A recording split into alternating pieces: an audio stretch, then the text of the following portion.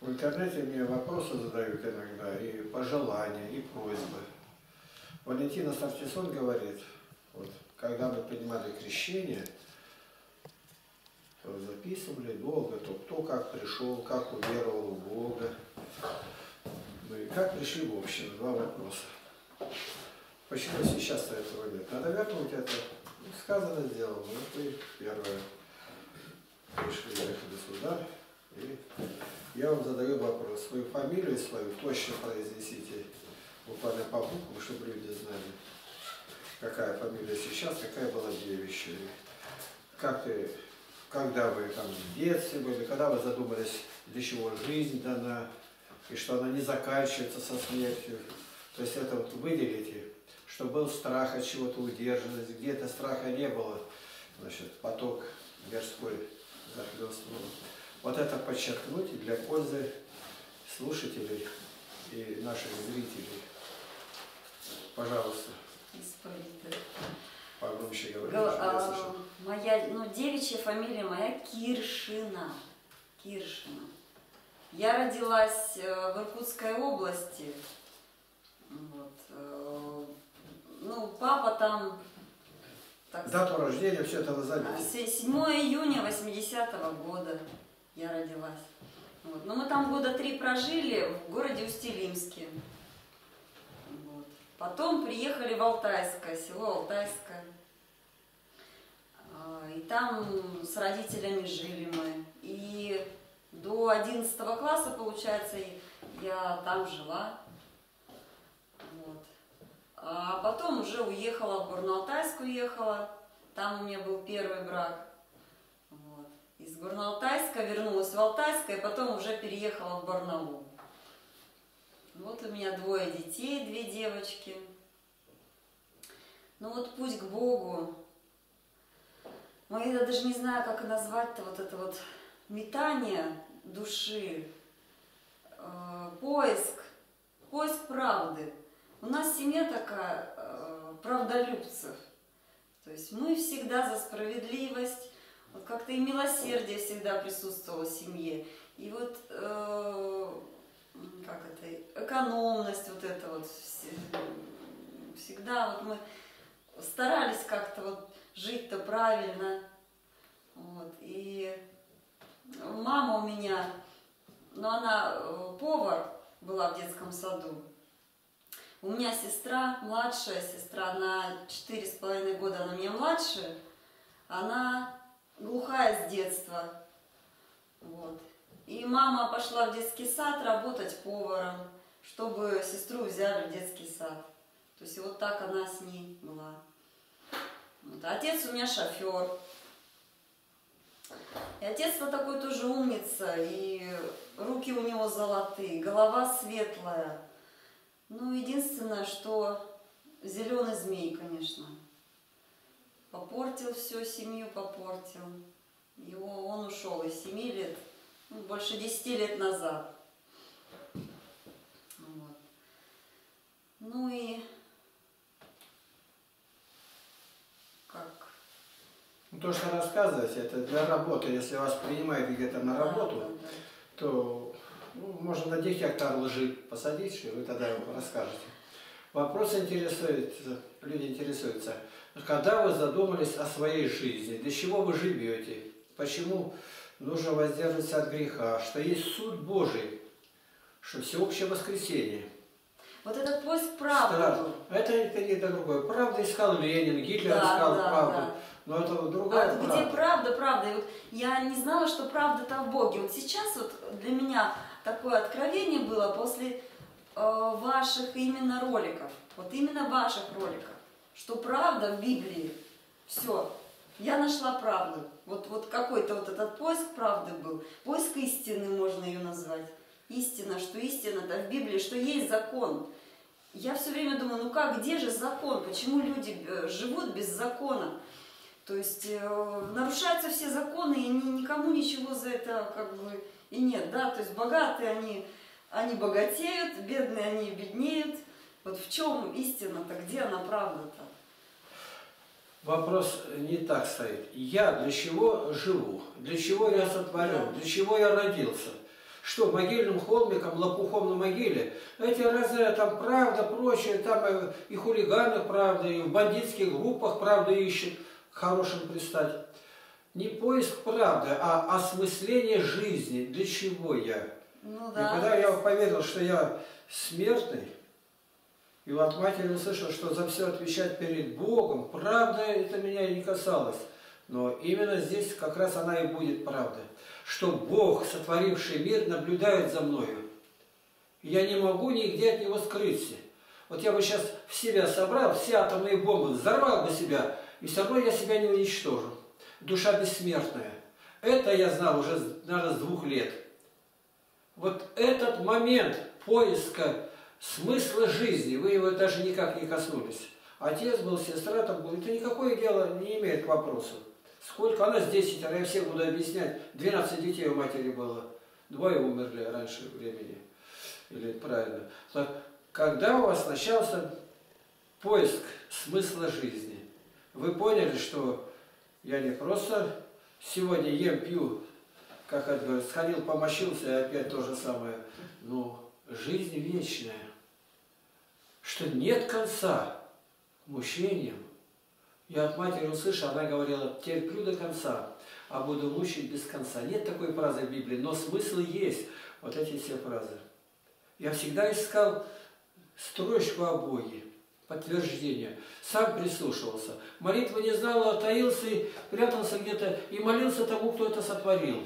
Из псалтыри выписывал молитвы. До школы это все. Вот это меня интересует и людей. Когда вы ощутили, что у вас есть душа, и она бессмертная, и что тело воскреснет,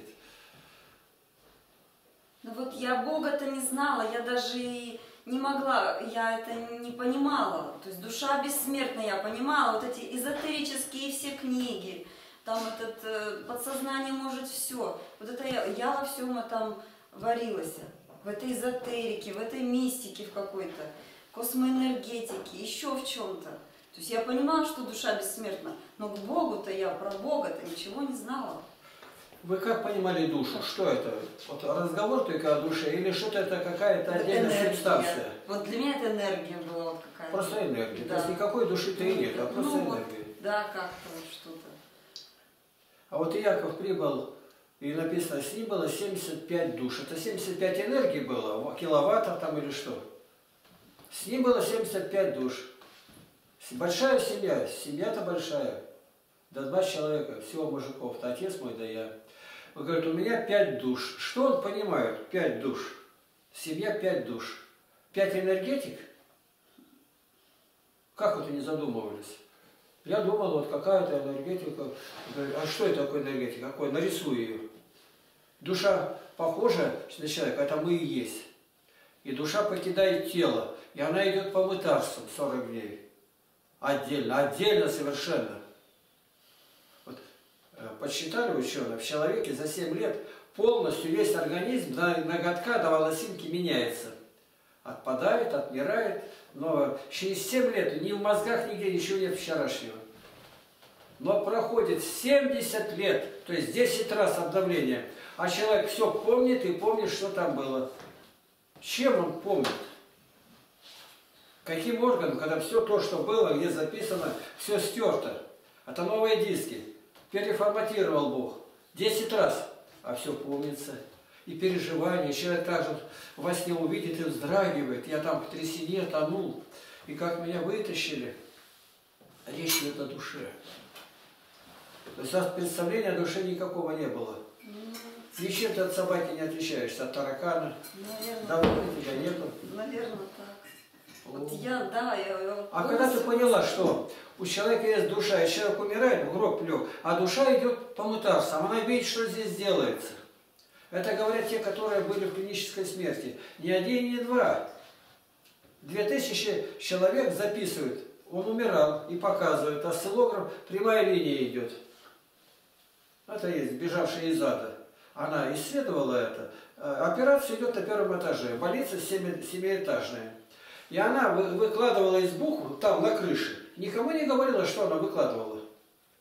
И врачи не знали. Она выкладывала, и там где-то была, она тоже как бы в медицине имеет дело. И когда человека этого Господь оживлял, она беседовала, на магнитофон записывала. И говорит, что вы видели? Я видела, врачи надо мной склонились, и потом все стало отдаляться, я увидела всю больницу. А что еще видели? Я увидела, там написано на крыше. Она лежит, она не знает, ее привезли в реанимацию, она умерла. Я увидел, там прочитаю, утки, не гордитесь, скоро будет 1 сентября, вас пристрелят. Врачи говорят, что она выдумает? Он говорит, действительно так. Я букву там меняю, в следующий раз я напишу так, славьте короля, ибо есть короли, которые хорошие. И те, которые вот, воскрешенные, они это читают с первого этажа на крыше. Как они могли, не выходили. Это душа делилась, и душа видела. А вернувшись в тело, она все запомнила. Был такой профессор, Моуди младший. И он записывал таких людей во время войны. Было. А с чего началось?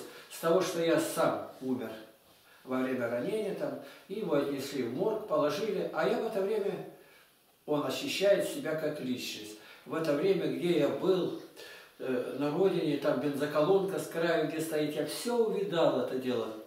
А потом кто-то мне толкнул и сказал, ты рано пришел, ты должен вернуться в тело. А как я в тело войду? Где? Ну, где, где тебя в морге, где твое тело-то?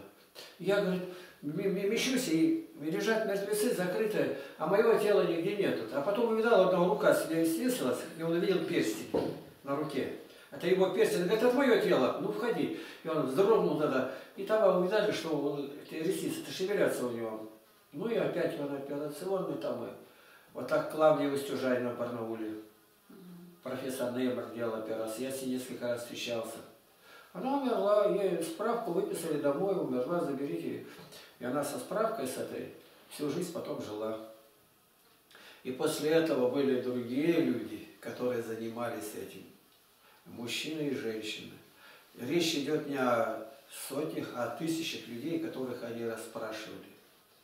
И они все рассказывают о том, как вот вылетает душа, как будто бы какая-то огромная аэродинамическая труба, и летит туда, сужается, потом встречается свет, и кто-то в этом свете говорит вот, с тобой. И что говорит, и в общем тоже сходится.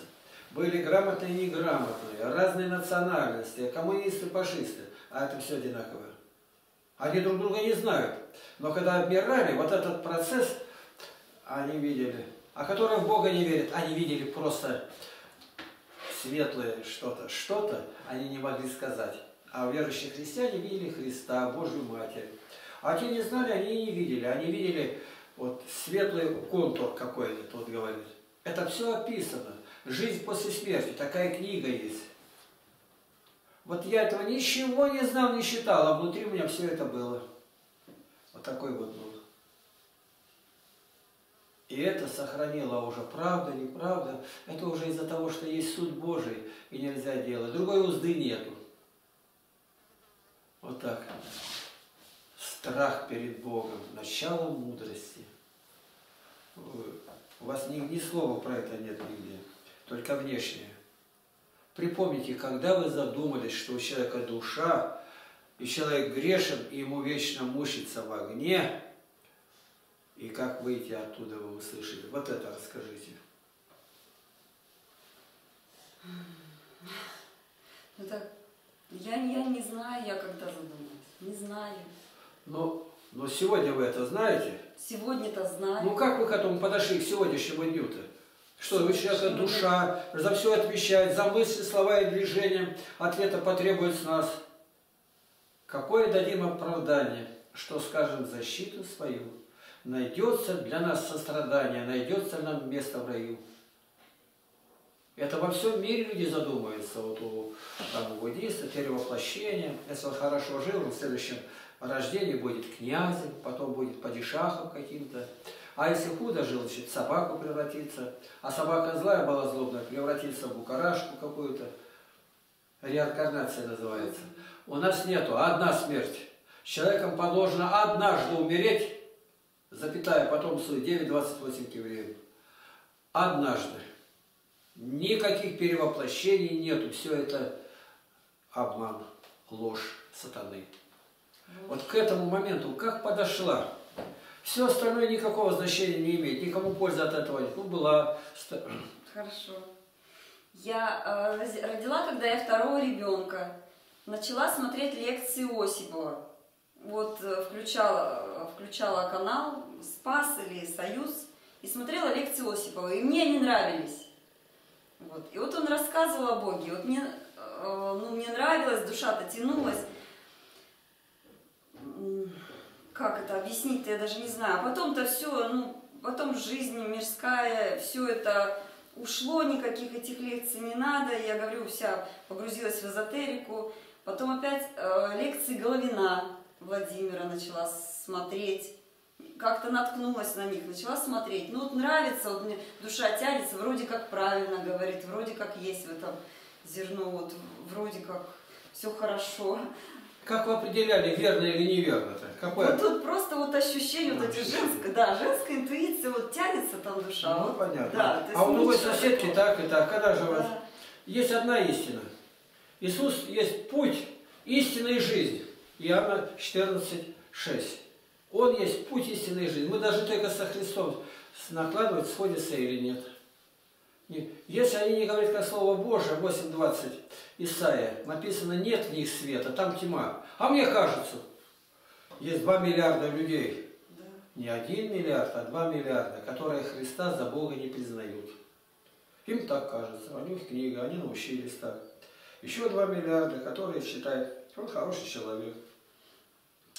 У нас как крещение одна готовилась. И кто такой Христос? Ну, хороший человек, ну какой, как Высоцкий примерно, да? Она не может дальше сказать. И сегодня состояние ее, ну, не такое, ну и не такое, как надо. Тогда зачем эти стояния в церкви, моления? Кто-то нас слышит или нет? Да. Или мы просто для утешения и ну, красивое зрелище? Бог нас слышит. Рассказывай. Я почему, я не хочу перебивать, а ну, чтобы по, по теме было. Угу. Когда вы ощутили Бога, поняли, что вы бессмертная, что вы грешная, и что вы будете мучиться в аду вместе с сатаной. И потом вдруг свет воссиял, вы узнали, что мои грехи взял Господь. Когда это было и было ли? Не было у меня вот такой отправной точки, не было. Я пришла к вам в общину, и вы, э, я начала слушать вас, я начала понимать это, и у меня вот это все открылось, что есть Бог, что есть суд, что есть Христос Спаситель, что есть все. А что Осипова Головина слушала, не касалось это? Разве они не говорили об этом? Ну, они говорили об этом. Я не знаю, как вот это свое состояние это объяснить, что как вот Бог отдельно, ну, я, я, не, я не знаю, вот не знаю, как это словами все э, э, рассказать, объяснить. Ну вот как есть. То есть вот эти вот неославяне, там два года назад я начала э, заниматься сыроедением, там вот этим чисткой организма, там вот этим всем э, славянство, вот это все, вот мне начало нравиться, там э, эти калавраты, там еще что-то. Я думаю, ну может быть там. То есть это наши предки, наши эти. Я думаю, может, может там истина-то вот правда, что вот эти все боги-то, они там действительно наши боги-то. Понимаете, вот это вот. Которым молиться надо. Они молятся этим богам или нет? Ну они-то там что-то молятся, что-то Нет, они не знают, что такое. Жизни никакой нету. Это они так друг друга, может через костер прыгать, там узнавают наши предки, а дальше так, чтобы как мы молиться, они этого не знают. Что Бог, которому я молюсь, и Он отвечает, они этого не знают. А вот раньше там у них написано было, книги сожги, какие. То есть все это выдумка, ничего нету. Язычество – это бесовство. И принося жертву идолам, они приносят жертву бесам, дьяволу. Я, говорит это апостол Павел. И это не просто вот наваждение какое-то, это дым из преисподней. Да вот это главное сейчас неоязычество, вот то другое, ничего там нету. Там молиться некому. Калаврат, вот у меня такой был знакомый, один вот солнце там накручено. Я говорю, и ты сейчас этом будешь молиться, умрешь, и Калаврат тебя повлечет, или Нептун, там, Перун. Ничего нету. То есть душа мертвая. Выпроси у Бога веры, я говорю, чтобы Он открыл. Бог открывает дверь внезапно. Внезапно, когда ищешь. Вот мы поем веру в единого Бога Отца Вседержителя. Будем утром. Вы признаете символ веры? Все? Да. Спросят, а откуда Бог взялся? Откуда Бог? Безначальный, Безначально. вездесущий. То есть один вопрос, который человек не должен знать и не будет, и никто не вместит. Безначально, то есть начала ему нету. А Христос? А Христос это ну, Бога-человек, то есть э, Святой Дух вошел в Марию Деву, и она родила. То есть это ну, Бог, это и Бог, и человек. Ваше движение руки что это означает? Тогда они Эмоции. ничего не означают. Выразить вы не можете. Не это. могу выразить Нет, тогда не, не надо, просто говорите. Вот когда показывают восхождение звезды о Гитлере, он специально учился. И коммунисты, мы это вырвем из сердец людей. И все содрогнулись. И как это так? Все. Мы закончим этот период. Евреи не будут царствовать, деньги наши будут, он притягивает, он отдельно тренируется движением. Если этого нет, то не надо. Вот, допустим, итальянец делает 150 движений, когда говорит там итальянец.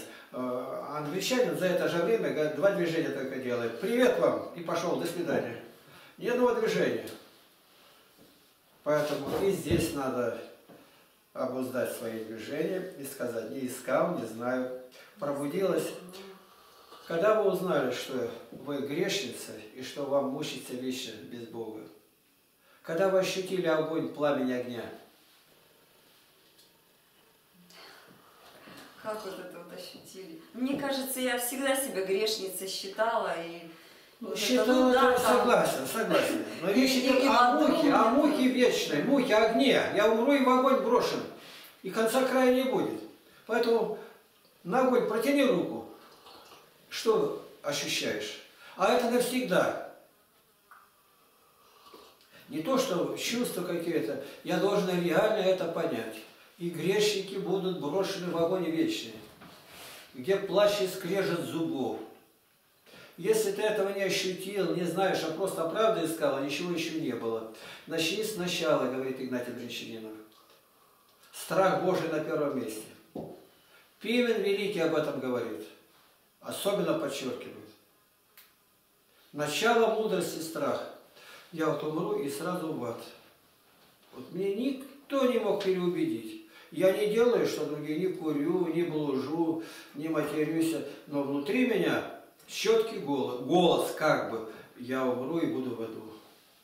Я грешник, за мысли, за все Бог будет.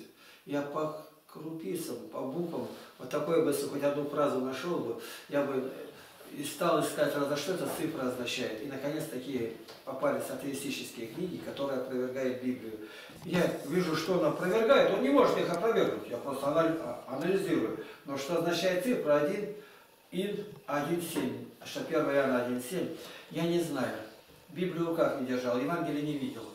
Но все было готово. И когда в 23 года мне в руки дали Новый Завет, а сами в комнате обедали в это время, и когда они зашли, ну, кто там, 20 минут, 25, я, я уже готов был на молитву. Встал и сразу перед Богом все рассказал. Я погибший. И в это время меня Бог избирает мгновенно. Как все вздрогнуло передо мной, а я на корабле, сильный, деньги, свобода, выход за границу, знания огромные Бог дает. Я понял прах, дым, надмение. Ничего нет. И сразу первому матросу, только на корабль возвращаюсь и говорю, живем неправильно. За нас Христос умер, наши грехи Он взял. Многие верующие как? Ну, я помолился, Бог простил. А почему? Ну, Он прощает всех.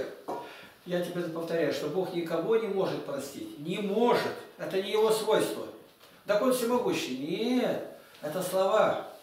Бог не может отречься самого себя. Он не может солгать. Есть многие вещи ненужные, вредные, Бог не может делать, не может творить зло. Он не может. А бе- безбожники говорят, а может ли Бог сотворить такой камень, который сам не сдвинет? Я говорю, вот он такой камень стоит здесь. Это вы. И вам вот сатана подсунул этот камень в мозги, и вы не можете его сдвинуть. Ответ должен быть только один. Я погиб, погиб я навсегда. И вдруг рука Господня касается меня. Он протягивает руку. Я сегодня э, Сергею выставил, Виктор Николаевич поет э, «Рыбацкая шхуна с волнами боролась». Мое стихотворение. В 80-м году я написал в тюрьме, как наш корабль тонет, и что получается. А тонуть это просто. Температура ниже нуля. Волна, мы идем, а волна бьет и застывает, бьет, застывает, корабль клонится.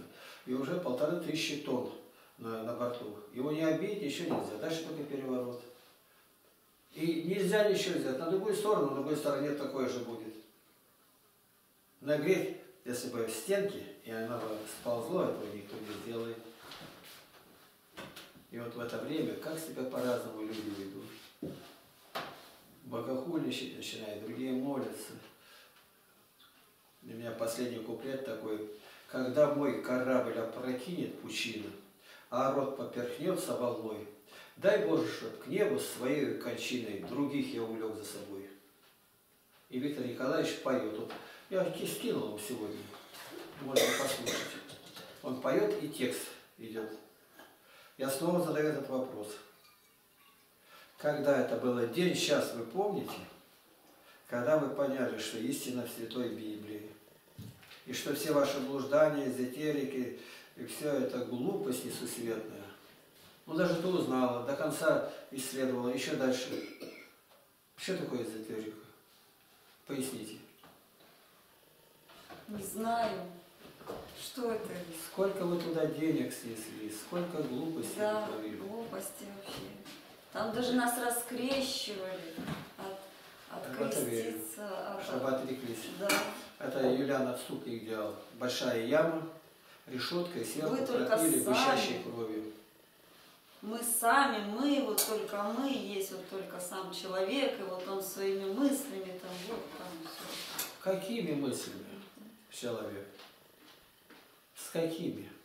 И что человек? Есть человек, ну, скажем, такой, который Сознание. много знает. А какие мысли у человека, который только ищет, где бы что сожрать?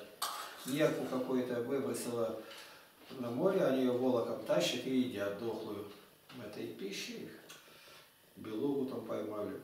Блевотины давятся от китового жира. Тоже человек. И тоже мысли у него какие-то есть. Логос это и есть мысль. А это есть Бог. Вначале было Слово. Переводится. И Слово было у Бога. Начните говорить, вот когда вы четко поняли, что вы погибшие, и что только умрете, тело зароет, а душа, мое ощущение отдельное, до суда Божия будет мучиться, а потом соединиться с телом, и уже с телом будет гореть и мучиться, и никогда не кончится. Никогда. Сгорая, она встрепенется в муках, и снова опять та же. И завтра, и послезавтра.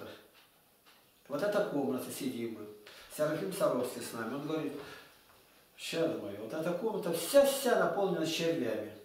И все до одного прогрызают тебя во всех направлениях, в глаза, в нос, в рот. И нельзя избавиться, и день и ночь грызут.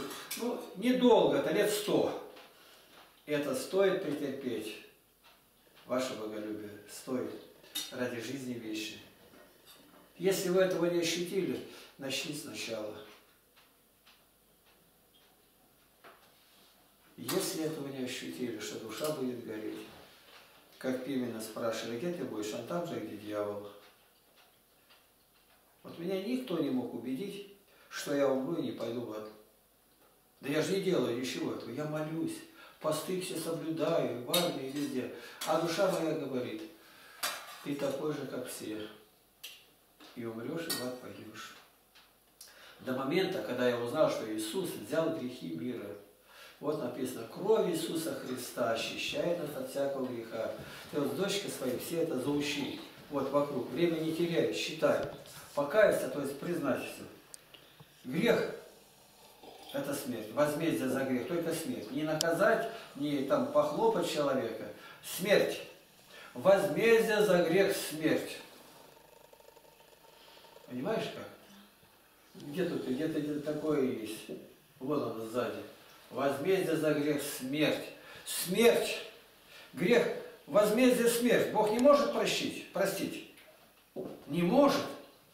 Это Божий принцип, Божья сущность. И Он тогда посылает Сына, который на себя берет грех и умирает за меня. Вот теперь за грех принесена жертва. Вот в этом все христианство.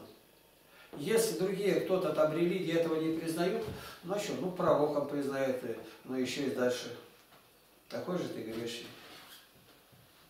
Вот вы другим людям будете говорить о спасении, о Боге. С чего вы начнете?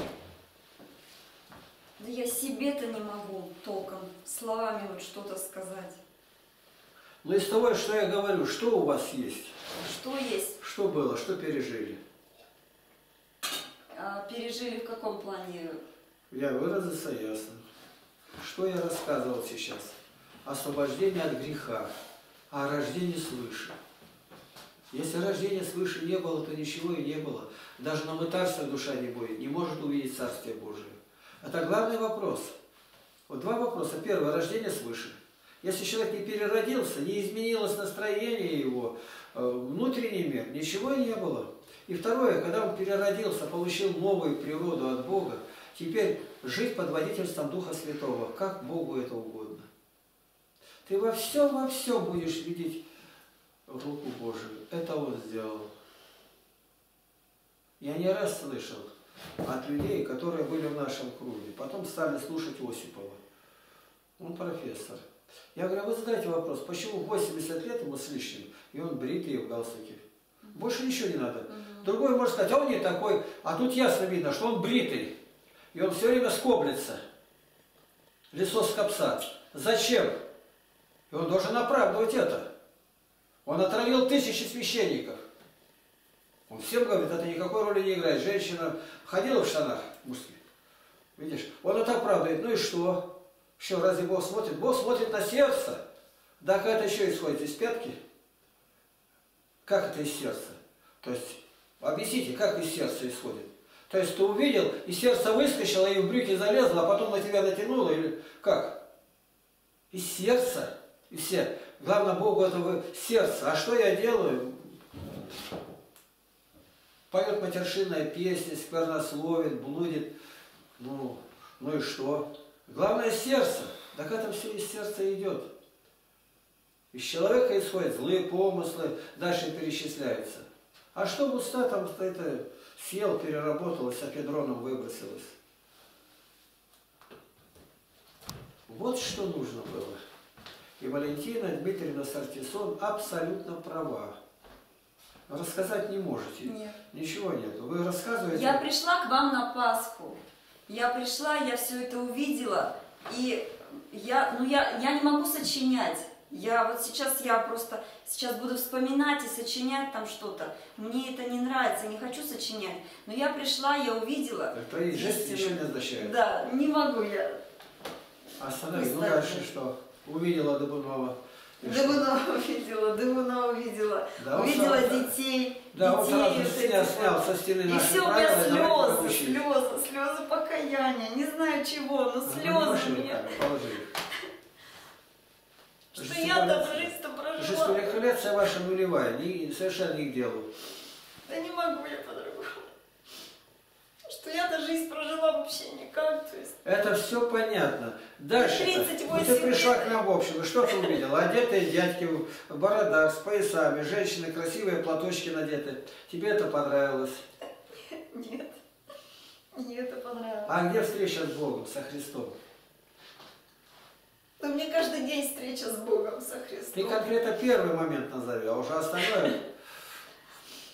Ну вот я сочинять не хочу. Я не знаю, когда она была. Я к нему, я иду, мне кажется, Ну, я да ладно, вот я иду. Ну, так же ты не идешь, и руками там машешь. Как ты идешь? Вот так идешь, тебя зашорено со всех сторон, я иду вот так. Нет. Ну не знаю я, что. Знаете, любая баптистка объяснит это. Я была православная, была неверующая, вот такая вот. И, вот, и тут я пришла к баптистам. И вот проповедник, когда говорил, кто хочет сердце свое отдать Богу на служение, выходи сюда. Я вышла и склонилась. Я помолилась и почувствовала, с меня как тяжесть сошла. Ну, а дальше она уже рассказывает, в общине знала, и в хоре стала петь, и дети там и прочее. Она может сказать, что она не церковь, не в церкви, она не знает, от нее это скрыли. Сатана же очень хитрый. Вид ангела света принимает. А у православных этого рассказать не может. Я пришла к батюшке перечислить грехи. Перечислила. Дальше. Реестр. Все добавляется туда, уменьшается. Бумажки иногда пишут батюшки. Ну, батюшка накроет фартуком и Петрохилю. Прощается тебе, за старое принимайся опять. Это тоже не выход. Ты должна так возненавидеть грех. Не так, тебя пригласили родственники, день рождения справляют, Великий пост. Ну, чтобы соблазна не было, кусок мяса тебе отвалили, съем я его. Это учит священник. Новоалтайский погибл Михаил. Священником назвать даже страшно. Развратители. Исказители слова истины. После Пасхи, после Пасхи, после того, как я побывала в общине, у меня вот это вот отвращение к греху,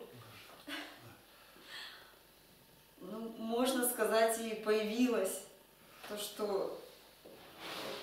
Отвращение я не знаю, греху как это может объяснить. быть просто по совести человек Да, понял. по совести. А речь идет именно о Боге. Не просто, а что ты понял, что грех это дьявол, это он навевает. Это личность, которая рядом сейчас стоит, может быть, здесь. И здесь может быть демонов не одна сотня, которые не, мозги тебе сейчас закупоривают, не желают, чтобы ты уверовала, как должно. Ты увидела, да, пришло, очаровалась, а потом разочаровалась. Нет, Ты, ты увидишь, нет, ты не увидишь- дождетесь. не дождетесь. Это дождать не надо. Сейчас что-нибудь заметишь, даже без объяснения, не спросишь, а почему я так поступил. И все. Кто-то сказал, знаете, тут 50% у вас приходит и уходит, а Сергей Козлов парализован, говорит, не 50, а 99. Да. А у меня бывает такое, я что-нибудь раз думаю, вроде как несправедливо, а потом посидела, подумала, правильно, и мало мне еще, мне надо было еще, еще, еще, потому что заслужила больше. Ты сравни что? со Словом Божьим. Да. Библию каждый день читаешь. Да, каждый Ты день. находи то, что нужно там. Вопросы Ролики задавай. смотрю. Сколько у тебя сейчас вопросов? Вопросы. Да много вопросов-то. Ну задавай. Ну, Ну много так, ну по одному вытаскивай. да все не вспомнишь. Когда читаешь Библию, вопросов много возникает. Но Нигде я понимаю, что я... нигде не записываешь. Нет, я их не записываю. Ну, я понимаю, что я дальше нач... что я буду дальше идти по этому пути. Я буду больше узнавать, и эти вопросы разрешаются. И у меня они разрешаются, потому что я включаю какой-нибудь ролик, и там раз ответ на вопрос. А, Да. все. Опять раз ответ на вопрос. То есть те вопросы, которые раньше у меня были, они потихоньку разрешаются у меня все. И у меня встает, у меня, как говорят, пазл складывается. Вот, потихоньку, помаленьку. Вот у нас прихожая там. Девочка, зачем выходила в прихожую во время богослужения? Да, чихала сильно. А? Сильно чихала, я ее отправила туда. Так, нажми. Ладно. Крепко нажми и держи. Все кончилось. Хорошо. Вот так, вот так, вот так. Не просто так держи, а вот так дави его сюда носом. Дави. И все. Хорошо, буду знать. Отправила, она туда-сюда бегала. В храме ходить нельзя запомнить. Если вышел, ты там и должен оставаться. У нас порядок. Да, конечно, порядок наш настоящий. Отдельно женщины, мужчины, форма, одежда. За обедом у нас везде правила. Это помогает. Но это все результат уверования. В центре всех разговоров везде Христос. Не просто я сел, хлеб взял, съел, а это дал мне Бог. Хлеб наш насущный, подавай нам на каждый день. Я от Бога получил, Он мне принес. Вот житие святого Марка Фращевского читаем. И вот там Серафион пришел к нему, беседует, он говорит, ну пора подкрепить нашу рабыню, то есть тело рабыня, а душа это госпожа. И в это время смотрю, говорит, появляется кисть сверху в горах. и подает два хлеба. Он говорит, поверь, брат, вот я 70 лет здесь, всегда был один хлеб, сегодня два. Он разговаривает э, реально. И Господь отвечает реально. Бывает так. Я сижу и говорю, вот такой был семинарист, и он печатался, будучи семинаристом, в Алтайской миссии, в Барнаульской епархии. Вадим Четвергов. Я его выделил и послал к нему Игоря отвезти, подарить ему книги свои. И все, ну. А теперь прошло уже 4-5 лет, его нигде нету. Теперь он священник, но где я его не знаю. Господи, благослови его. Я о нем каждый день молюсь. Выхожу, он идет с женой.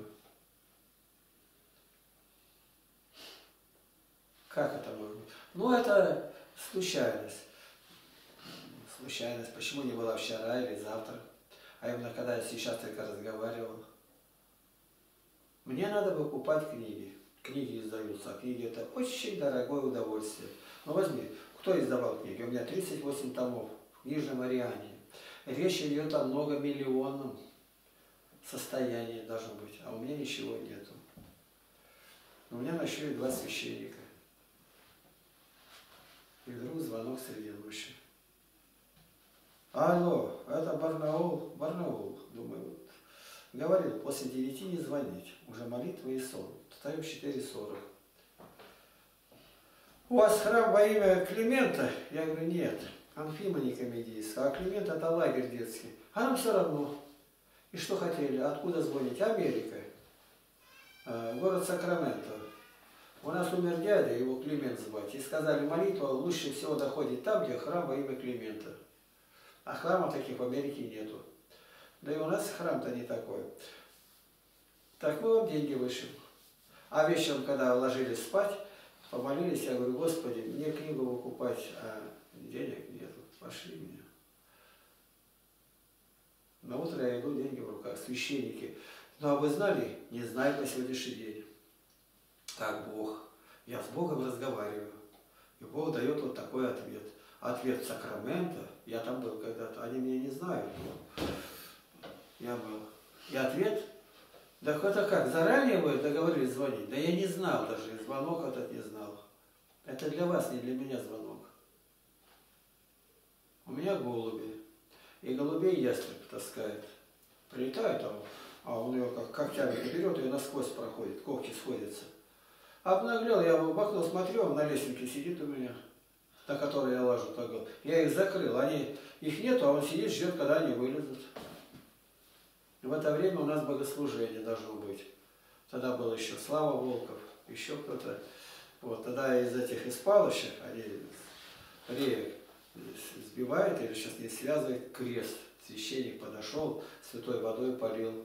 А там дальше вот так вот, вот, вот дом наш, в Барнауле видели как, а дальше там протока, деревья растут и дальше урь. Они пошли на дереве этот крест там водрузили. Ну еще он крест ваш, слушай дальше. Больше ни разу ястреб не залетел. Я видел, только он пролетал так вдоль, а уже там стена воздвигнута. Ястребу перед ним стена. Он не понимает ястреб-то, а это стена. И он уже больше ни разу не залетел. Все, голуби я выпустил. А он так пролетает там мимо вдоль, а сюда не может. А почему вера? Люди приходят и говорят, нас лев, скольких людей задушил паломники. А что же молчали? Я за Иисус помолился, там, пошли покропили. Проходит какое-то время, они говорят, мы сейчас ну такое зловоние идет. Пошли дальше, а там дохлый лев лежит, уже сгнил. От него этот ветер дует. Я это и сделал. Это Бог живой. И Он все время мысль управляет, поворот делает. Я сегодня договорился на понедельник за рыбалку. А сейчас должен предупредить не понедельник, завтра, после богослужения мы едем по берегу будете тащить, а Исааки с Никитой внутри, а я буду снимать. Я ни разу полный процесс не снимал. А только пункта А до пункта Б. Одели, чтобы они в одежде были. Если вы хотите, можно было там сказать, когда рыбу вытащат, помочь, собирать. Девочке было бы интересно. Как ее звать-то? Анна. Анна. Это Нюра у нас зовут. Нюра. Нюра, Ньюси. Ну, дай Бог тебе хотя бы в течение года не разочароваться. Никуда не уйти. Ты много его знаешь. Ты знаешь, что у нас сайт есть? Сайт. Конечно. Не YouTube, сайт. Я все знаю. И на сайте я отвечаю студентам на 4124 вопроса. Ты там все найдешь. О спасении. Вопрос задают, и сейчас печатают это. Берут и сразу показывают, том такой-то, страница такая-то. Вот том такой, страница такая-то, это нет ни у Ткачева, ни у Осипова, ни у, ни у кого нету. У меня все это фиксируется. Я каждый день дневник заполняю. Заполняю его больше, чем 70 лет. Ну, а, то есть постоянство. У меня же изъяли ужас сколько. Две большие кучи в краевом суде во дворе жгли ваши, что у меня конфисковали. И после этого у меня только переписка с 87-го, еще 77 томов. Переписка. Каждый том 650 страниц. Поняла? Да. Это непрерывно. Ты должен работать. Даже простое дело, вот рыбачить. И вначале там и батюшка, да ну зачем там это, там это шлюз, тут главная дорога. А сейчас уже ничего не говорит, потому что мы задобрили его. Так, э, сегодняшнее 27 кому-то дали? Батюшке дали, Устиновым дали. Себе сколько-то осталось? Нет? Нет. Значит, идти завтра после службы. По, по по завтракам и сразу уходим. Они на своей машине, мы на своей. Ты хотела бы побыть? Ну, там и все одетые наши были ребята, там, братья, мы скажем. Ну, вот кто-то послушает, как ты обратилась, она скажет, да она совсем неверующая, еще она не обратилась. Видишь, Валентина Дмитриевна Сартисон затронула важную тему. Как так? И вот смотри, какой грубый этот лот, глотка у него, говорит, луженая Кто? на, на Игоря Добунова. А он А. больше всех вас видит. Он старается, все сидят, мы пришли, а он там на, наше правило все снял, ты сидишь, он тебя долбит, долбит. 16 пунктов. Все. Он такой, он сам требует помощи себе. Но в данном случае он прав, и мы просим, чтобы Господь благословил его. Он мои стихи на третий раз начинает читать, как понимаю, говорит, два раза прочитал, а сейчас третий раз, ой-ой-ой, сколько там. Сейчас мне пишет. А где вы берете? Понятия не имею. Я стихотворение свои считаю, как будто первый раз вижу. Первый раз вот смотрю, и это Бог делает. Рука водила в течение девяти лет. Каждый день по стихотворению. Девять лет. 3467 по 9 куплетов. И еще эпиграф у каждого слова Божия. Четыре тома по 800 страниц. Невероятное. А что Бог? Вот мы что здесь сделали, даже в работе, везде. А оно тогда, когда я уверовал, то старое выносит, говорит, книжник научный на Царствие Божие, новое и старое. То есть этот опыт, который у тебя был, твой, он неприменимый здесь. Ты ищи справедливости, тем более в отношении себя, а правды Божией. Я сегодня дочери говорила, мы когда посуду здесь мыли, я говорю, доча, ты когда вырастешь, ты будешь вспоминать это время, ты будешь говорить, я там была, я это все видела, я сама лично Игнатия Тихоновича видела, я его знаю. Я говорю, это, это такой великий человек, я вот опять. Это Ну, я не могу, да. великий, не великий, Это великий дело, Дело, человек. другое. дело в том, что И вот эта мы- община, которую вы создали, и то, что вы делаете, я это вижу, я это выразить словами не могу, как же тебя Ну, задеть это- так, чтобы ты этого не говорила? не могу. Ты будешь потом отплевываться, Нет. как я была обольщена. Вот так. Но я не вами обольщена, а я не могу объяснить. Я желаю то, чтобы вы были верующие, настоящие дети Божии, чтобы любовь Христова у вас была на практике, на деле. Любое дело, какое ты делаешь, и все, что делаете, делайте во славу Божию. Мы делаем такие работы тяжеленные, дороги ремонтировать, пруды. Вот это даже вот прошедший день, вчера, Это вчера мы на мосту-то были. Ну да, вчера, даже не верится. Это за один день. Я перекидал там несколько, может, десятков тонн, это сдвинул с места песку. А Володя с этой стороны столько же. Не хватило, теперь заказ. Мы это делаем для будущего. А озеро-то не ваше, оно за вами, ну, я об этом никогда не думаю. Я делаю, все. Господь узнает. Но пока мы пользуемся. Понимаешь, вот, когда для Бога такое спокойствие на душе, а как это будет? Бывает, беспокойство начнется, Господи, да будет воля Твоя. Давайте, говорит, праздник создадим, сердцу нашему дадим покой. Хорошие слова. Я вчера, когда работал, вставал, даже утром встал, и все еще сердце болит. Все, я к врачу э, своему Виктору Андреевичу говорю, он говорит, это не сердце, это у вас позвоночник. Вот здорово. Это, говорит, отдается сердце. Да, я накрутился там с лопатой, песок-то этот кидал и кидал. Это таких Бог дает друзей, которые утешают. Такого дал нам батюшку. Свой, с тарелкой не ходит, свечи не ставит, по стенам икону не целует. Лежит, вот подошел, прислонился, почтил и все. И когда священник идет, все это за ним крутятся. У нас не крутится, он кадит иконы. Он о нас в какое-то время и не думает даже. И у нас, которые новые люди, они прямо еще на себя благодать руками хлебают. Одни приехали тут, ой, сколько у вас тут благодати, бач, говорит, флягами, флягами. А сам благодать, а у меня вот здесь вот строение стоит трехэтажное, балерина называется. Аббревиатура башня, ле, летняя, ре, резиденция Игнатия начальника. Балерина. И там на третий этаж пролазить нужно через лаз. Люк открывается. И он застрял, не может пролезть, который благодати много нашел. Приехал. И что у нее? Да ничего нет, все растворилось. Здесь постоянство. Здесь в один день может все измениться. Ничего. Я вот бываю, когда в бане, вот у меня заболело вот здесь вот я побоялся, может, не пережег ли я. Вот, зудится, когда комары кусают в этом месте, предлагают, прилегают, и я в субботу парился. Сейчас веник отбросил, все. Заопасался. Видишь, тоже за жизнь хватаюсь. Вы когда говорите слова, я не слышу ваших слов.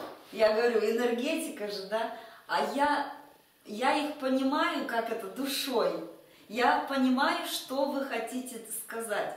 То есть не слова я понимаю, а смысл. И это я не знаю, никогда не узнаешь, что я хотел сказать. У меня в мыслях такие неожиданные бывают кульбиты, повороты. Ну, да. говорит, говорил ты об одном, а закончил чем? Я говорю, а теперь вот соедини все вместе. И он считает на третий раз, даже Игорь, и говорит, теперь только открывается. Это не просто так. Вот я знаю, ты сказать, нет, я и сам не знаю, что дальше скажу. Ну да. А вы бы знали, ничего вы не знаете. Нет, ну не, не то чтобы знаю. А, ну, какие-то, ну чувствую, да. Ну, о чем вот это вот? Места Писания и притворяешь Я, да, жизнь. стараюсь, Сказано так. Стараюсь. Все, так, ну, куда Люда это делать? Еще нам что, спать? Не знаю, так. После еды вы ужинали, нет? Да. Я нет, ну ладно. А почему? Ну сейчас поужинаем. Так поздно. Время тоже полдевятого. Два часа надо дать для сна. Вопросы ко мне? Нет вопросов. Благодарность только за все. И побольше меня обличайте. Я для этого и приехала сюда. Ну, обличать я не стараюсь, так получается. Ну, слово такое обличать. Опять обличать, же. то есть показать истинное лицо, да. личину сбросить. Это значение слова такое. Да. Вначале человек просится, а потом и в храм не ходит. Раз я хожу туда, он говорит, ходить не буду. У нас такие даже есть. Да знаю я. И при том, я не понимаю. Он потерял веру, он не понимает, ищет разные причины, чтобы не ходить. Никогда причину не ищи вовне, в себе. Да. Виновен я. Вот у нас э, один такой футболку получил, ну как кофту с Германии. И там по-немецки написано вот такими буквами красивыми, и беншайсе, то бишолих. А он ничего не знает. Ты знаешь, что там написано было? А вы говорили? Ну вот. Да. Я созвонился с племянницей, она в Германии. Она говорит, да, так. Я тогда позвонил нашей сестре, она у нас была сейчас, она ушла. Она преподает немецкий язык в Алтайском университете. Она говорит, ну вот это. Так, я говорю, ты прямо скажи, так? Ну, там навоз, говорит. Нет, я говорю, там по-другому написано.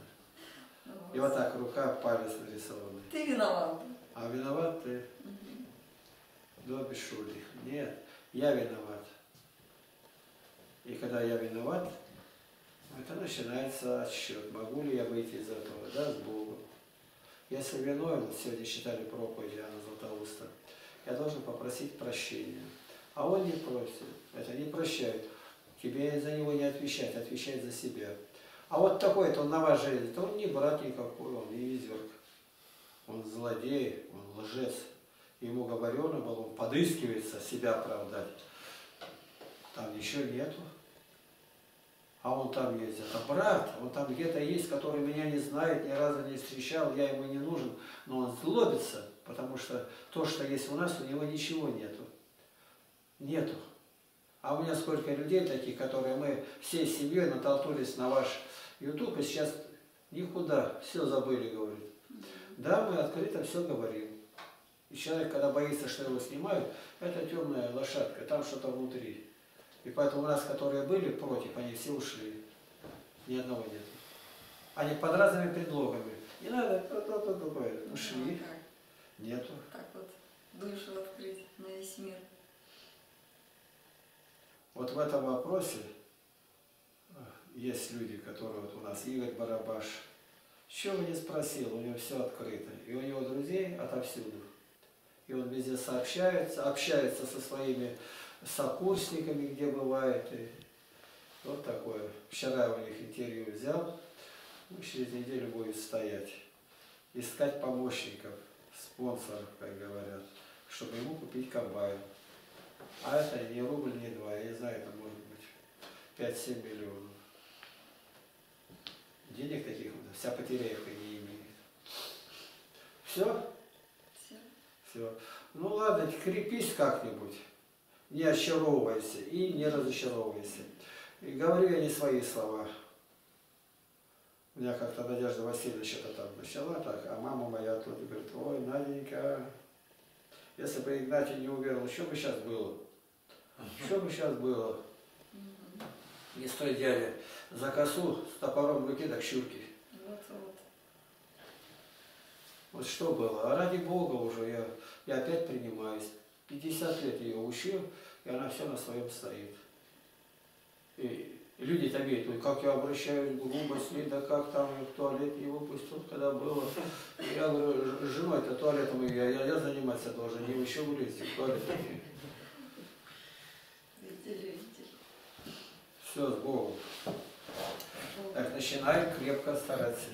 Знай Христа, человека бессмертная душа, которая должна быть с Богом в раю. А архангелы затрубят трубами, при последней трубе все воскреснут. Тела те же самые, вот эти вот, но только они будут обновленные, не стареющие. Одни как уголь почерневшие, а другие как светлое солнце. И душа войдет в это тело. Человек, тело без духа мертвого написано. Тело без духа мертвого, Яков пишет. Так, вера без дел мертва. Так. У нас не запрещается ходить в церковь, ходят люди, причащаться только здесь, раз членом общего. И разрешается ходить, но не одной. Допустим, быть у баптистов, послушать, посмотреть. И самое хорошее перенять себе. То, что я верю в Слово Божие, это я получил от пятидесятников. То есть баптисты соединенные были. А если бы я не встретился, и ничего бы не было. На пустом месте бы пыль поднимал. Ну, помолиться хочешь со мной своими словами? Нет. А? Нету слов. Душой молюсь. Ну так душой другой-то должен сказать аминь. Аминь. Нет, ты помолись, чтобы сказать аминь. Ты знаешь, как в школе ученик не мог сла- слаживать. Учительница тогда говорит, а у тебя еще вот, вот так говорит, считай, во, ло, сы. Что получилось, не знаю. А что на голове, говорит, шесть. Два плюс три сколько будет, не знаю. А два рубля плюс три рубля, пять рублей. Значит, нужно любить Бога. Господи, приди на помощь и открой этой душе всю истину Твою и любовь к Тебе, да будет непрестанной. Не допусти, что кто из нас оказался предателем, отступником. Доведи нас до желаемой пристани Царствия Твоего и веди навеки в него. Аллилуйя. Аминь. Аминь. Богу слава. Я ушел. Завтра из церкви выходить будем, сразу к няне или заходим.